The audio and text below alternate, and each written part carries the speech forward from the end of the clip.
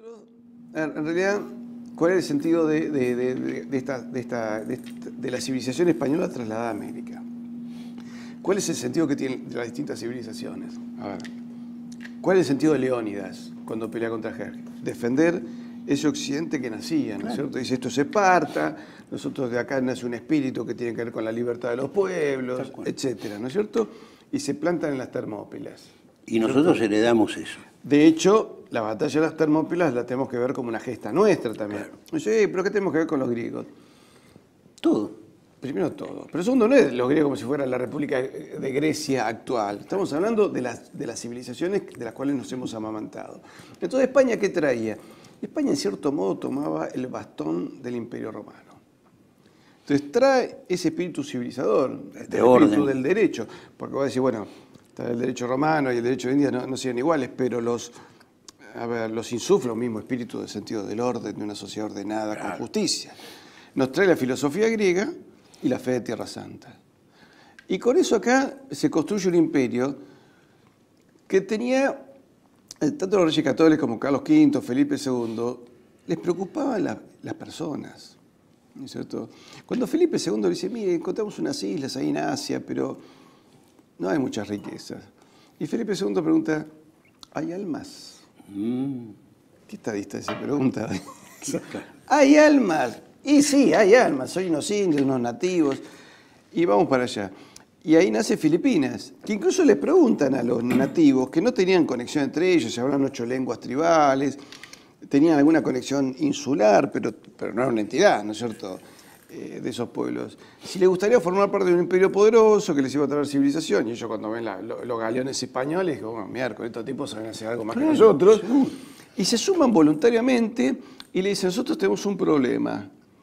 Nos invaden piratas que, que por las direcciones era Catay y Zipán, o sea, China y Japón. Venga. Entonces dijo, nosotros los protegemos, ustedes son súbditos de su católica majestad Felipe II, entonces dijo, bárbaro. Y se sumaron voluntariamente. Entonces, ¿cuál era la preocupación de los monarcas españoles? Era que había que llevar la palabra de Dios hasta los últimos confines del mundo y por la promesa bíblica, una vez que se llevase la, la palabra de Dios a todo el mundo, a partir de ahí vendría Cristo. Pero antes vendría el anticristo. Entonces había que fortalecer el catejón, el obstáculo contra el anticristo. Entonces había que lograr convertir la mayor cantidad de almas posi- posibles. Y no era como se lo pinta a la fuerza que te pintan alguna película. Habrá habido, por supuesto, como siempre hay algún abuso, pero si vos sumas todos los abusos reales, no los sanateados, eh, de España, y deben ser el equivalente a la gestión de un intendente de Gran Buenos Aires. Claro, exactamente. A lo que en cuatro años puede ser un intendente. A- aparte hay y que- te diría que Hay que distinguir a los encomenderos, digamos, de los evangelizadores. porque supuesto. Ahí, ahí está la cuestión. Y- Hay una imagen, eh, por ahí está este grabado de, de Theodore de Brie, Sí. eh, bueno, donde muestra a un español malvado quemando un, montón de indios colgados. claro, que me gustaría preguntarte un poco sobre... ¿Cómo naces? Ah, esa Claro, está, está la imagen. Bueno, esto. primero, ¿qué sentido tendría? ¿No es Sí, cierto? sí, sí. Además, me hace gracia, por ejemplo, ¿no? Este, eso sin querer ser impúdico, pero la primera imagen que se ve es una mujer, Sí, aparece ahí. absolutamente depilada como una mujer del siglo XXI, lo cual me hace muchísima gracia, no sé. Este, pero además, ¿qué sentido tendría matarlos? Pues si no, porque quieren explotar minas, entonces necesitas gente. O sea, si sos un explotador, no los matás. Lo precisás. Lo precisas. Y por ejemplo, ahí matando a un niño a, a lo bestia. En realidad, todo, a ver qué pasaba. Holanda. En realidad, Holanda es un grupo de mercaderes y banqueros que tiene un país, no un país que- en el cual habitan mercaderes y banqueros. El pueblo mm, ahí de Países Bajos, eh, que habían sido eh, heredados a la corona Carlos V, de hecho Carlos V nace en Gante, que hoy es Bélgica, ¿no es cierto? Eh, ellos querían formar parte de esta identidad católica. Y en- además en Europa no importaba, que vos podías cambiar de, de idioma, pero en la misma Holanda no solo se habla holandés, se habla frisón, eh, ¿no es cierto? Este, eh, hay un sector que habla alemán, hay un pequeño sector que todavía habla, eh, habla francés, en fin. Vos querías adherir a la civilización que transportase tu alma de eternidad. Esa era la identidad. De hecho, vos acá en América le preguntabas, cuando me dicen, no, porque, porque yo, nuestros próceres, no sé, liberaron tres países. No existían esos tres países, se puede decir, fabricaron tres países. Pero yo le preguntaba incluso a un peruano, que Perú, digamos, decir, bueno, tiene un nombre más ancestral, pero también era el reino del Perú como, como uno de los tantos reinos de la corona española, ¿no es cierto? Como el reino de Galicia, ¿no es cierto? Como el reino de Castilla. Entonces, si vos decía, usted no es español, usted es peruano, posiblemente ese peruano se hubiese sentido muy ofendido.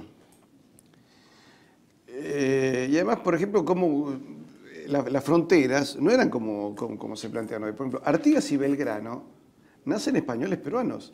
Vos tomas las partidas de nacimiento de ellos. la, de Belgrano dice Ciudad de la Santísima Trinidad, Reino del Perú. Claro. y uno no tiene que ver reino como una entidad independiente, como si fuese un país. No, no. A los virreinatos se llamaba también reino, reino de Quito, reino de Chile, porque el rey era rey de cada región, porque a cada región se le respetaban sus fueros y sus características. Entonces no era lo mismo los impuestos en lugar que en otro, las necesidades que se cubrían en lugar que en otra. La moneda incluso se manejaba de esa manera, de tal manera, ¿qué necesita este lugar para su desarrollo? Y también se ayudaban. Pues es que el Imperio Español tenía lo que se llamaban los fondos situados. ¿Sabes lo que eran los situados? Es una curiosidad. Pero México producía mucha más plata. Era la, región rica. De hecho, que se llamaba Nueva España. Y los novohispanos insistían que el rey, el rey no puede reinar en una ciudad pobre como Madrid, tendría que reinar en la ciudad nuestra, en la Ciudad de México, capital de Nueva España. Cada vez que iban a hacer trámites, los, los novohispanos veían a Madrid como un villorrigo. Claro, pobrecito. Se lo querían llevar y en realidad, eh, y, me, perdí en un momento. Sí, no, lo, de los fondos. Ah, los fondos situados. Eh, Cuba era más pobre y necesitaba a veces ayuda para cubrir sus necesidades. Entonces toma lo que se llama los fondos situados y se enviaba partidas de dinero a Cuba. ¿No es cierto? Algo de alguna manera ha quedado en nuestro espíritu cuando algún país hispanoamericano necesita ayuda, que se pone un terremoto, y salimos todos a ayudar, ¿viste? Y nadie dice, che, vamos a gastar plata en mandarle un avión con rescatistas, no sé.